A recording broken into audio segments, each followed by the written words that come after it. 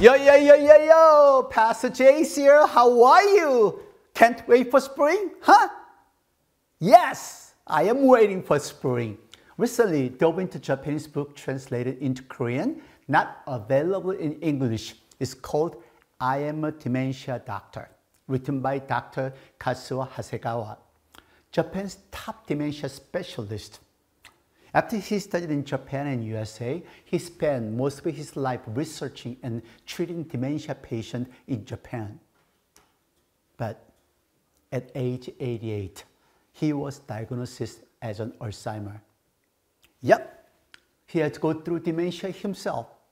This book is about dementia, including his personal journey as a patient. The title intrigued me, and after finishing it in one sitting, I found myself rereading captivated by numerous memorable lines. Here, first off, even with dementia, life persists. You remain human. Many assume dementia erases all awareness, but I stress that far from true. Emotions thrive, humiliation stinks, praise brings joy. Remember, a dementia patient is just another human, a precious, unique soul. Cherish the present moment. It's when you are most alive. Dementia is a journey back to your true self. Dementia often sparks concern as we age. Longer lifespans mean more cases. It's a conversation many will have in this aging world. You will soon. That's right. To those caring for dementia patients, hang in there, stay strong. While today's text doesn't mention dementia, it does feature someone who might face dementia. Yes, Moses, at his age, God called him and gave him a mission. Moses lived the first 40 years of his life in luxury as a prince in the palace of Egypt, and the next 40 years in solitude in the wilderness of Midian, caring for sheep with no one around. Once living a life that everyone envied, he now spent 40 years in a place where no one recognized him, where no one esteemed him. Moses could be described as someone who experienced the ups and downs of life. Don't you think? What hopes did he have? What meaning did his life hold? However, here comes. God met Moses and invited him into new life. Exodus chapter 3 explains that. We are currently in the period of Mount Horeb a chain fasting prayer for 40 days. The Mount Horeb prayer, which begins in the first week of February every year or solemnly the end of January, is a prayer event that has been held since our church birth. Why does he call it called Mount Horeb? Because Mount Horeb has significant element of what God has done in throughout the Bible. The first reason of Mount Horeb is important is that God met Moses. Let's look at Exodus chapter 3, verse 4 and 5. When the Lord saw that he had gone over to look, God called to him from within the bush, Moses, Moses. And Moses said, Here I am. Do not come any closer, God said. Take off your sandals, for the place where you are standing is holy ground. Moses like had prior knowledge of God. I believe that. Raised as an Egyptian prince by his own Hebrew mother would have introduced him to God.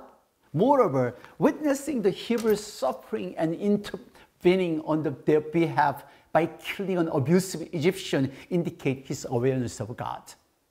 Considering this background, it can be concluded that he knew God. Knowing about God and experiencing God are totally different. You can talk about God. You can teach about God. You can even write a doctoral thesis about God. But remember, there's a distinct difference between knowing about God and experiencing God.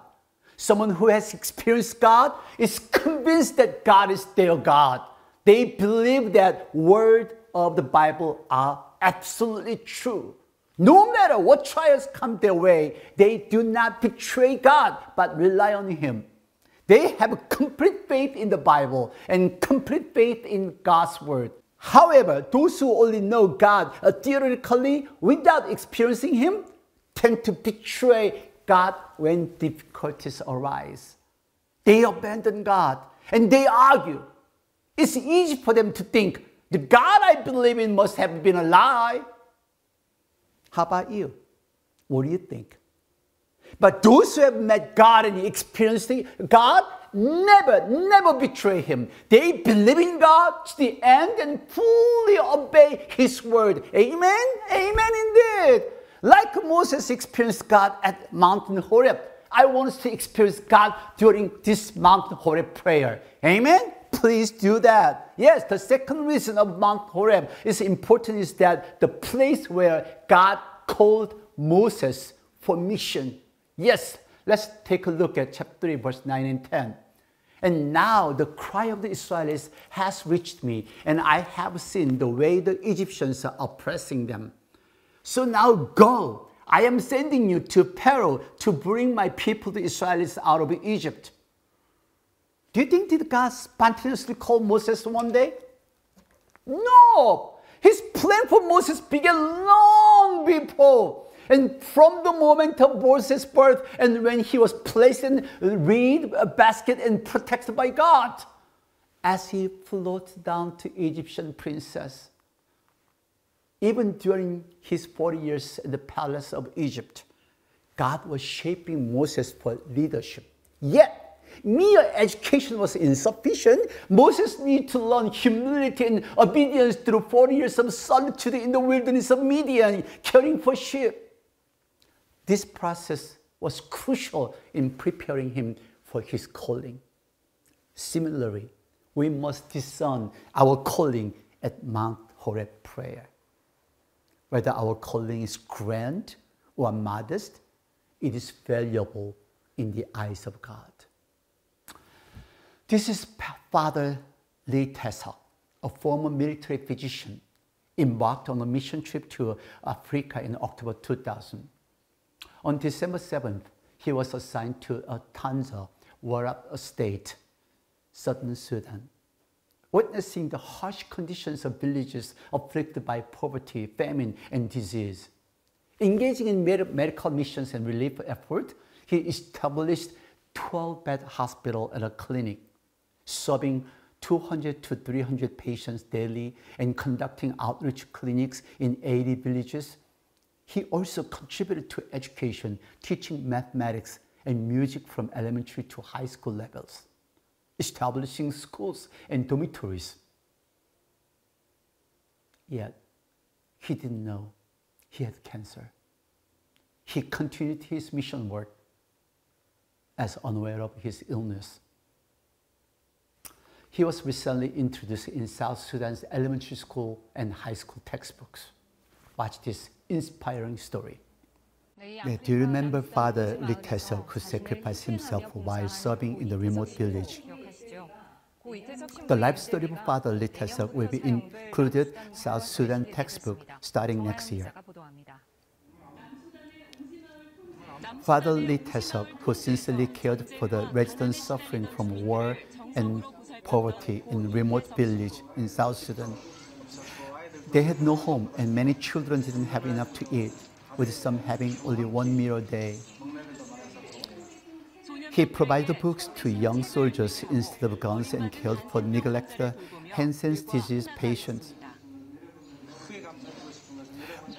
What we are deeply grateful for is that, with your help, the children could live more upright and brighter lives.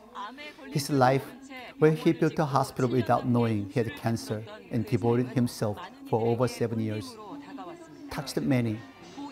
The double life of Father Lee Tae-seok has been included in elementary and high school textbooks of South Sudan. In the textbooks of distributed from next year, his daily care for 300 patients and his establishment of schools to teach mathematics and music are detailed over two or three pages. It is also mentioned that it was his sacrifice that helped change the dire situation in South Sudan and he didn't even think about his own meal. And he skipped his meal. And everyone think he's angels from the heaven. South Sudanese students will now learn about meaning of love, sacrifice, and sharing practiced by Father Lee Tae-seok in school and reflect on it.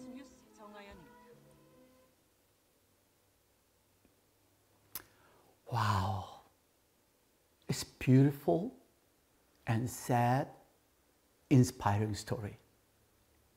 Yes, listen to the voice of God.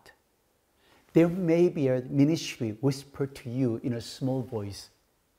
He doesn't say, take on this mission, but rather, let's see how it's done. He helps you accomplish the task, hold on to you, and guides you.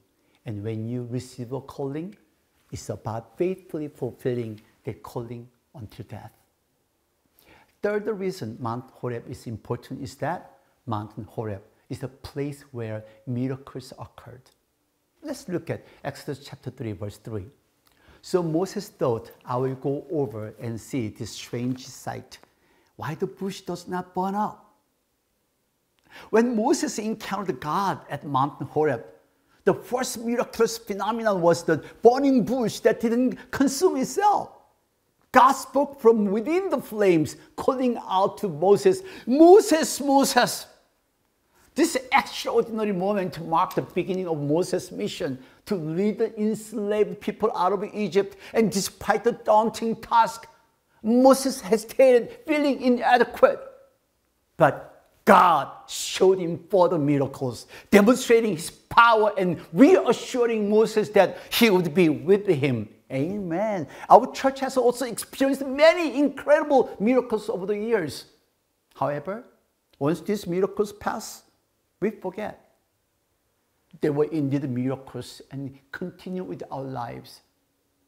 Cancers were healed, illness were cured, lives were extended, blessings were received, and our children grew up, we have forgotten what God has done for us. The mountain Horeb prayer is a prayer brings the miracles. Amen?